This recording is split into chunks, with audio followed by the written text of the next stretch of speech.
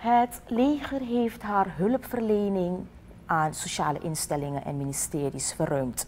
Minister Krishna Mathura van Defensie zei gisteren voor aanvang van de wekelijkse raadsvergadering dat Defensie eerder hulp verleend heeft aan volksgezondheid bij het opzetten van veldbedden voor COVID-patiënten.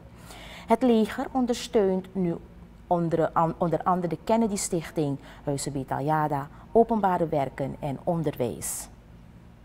Een heleboel waar ze, we ondersteunen met chauffeurs om uh, kinderen te vervoeren, mensen met een beperking te vervoeren.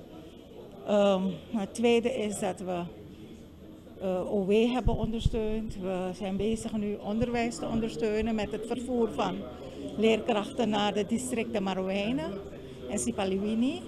Uh, met onze voertuigen. We ondersteunen ook uh, volkscontacten met het sociaal pakket dat ze aan het uitvoeren zijn. Uh, we zijn bezig met renovatieprojecten. Er is een school die nu op dit moment gerenoveerd wordt.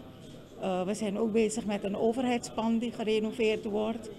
En de planning is dat we voor volgend jaar januari nog uh, hoe weer, huizencampagne, die meisjeskamers gaan proberen te herstellen.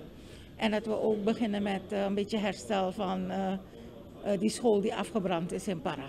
Er wordt ook gewerkt aan het oppakken van de kerntaken van het leger. Dit zodat er een beter zicht is op vele mensen die komen via de grenzen, zegt Matura. Bescherming van Suriname en een betere uh, ja, zeg maar zicht op stromen die komen via de grenzen. En die, of uh, het zij watergrenzen, landsgrenzen, lucht, uh, wegen die binnenkomen, dat we betere zicht en controle hebben. En we veel meer gaan werken aan informatievergaring en dat we op basis daarvan ook onze acties uh, gaan uitzetten. Minister Krishna Mathura van Defensie gisteren voor de aanvang van de RVM.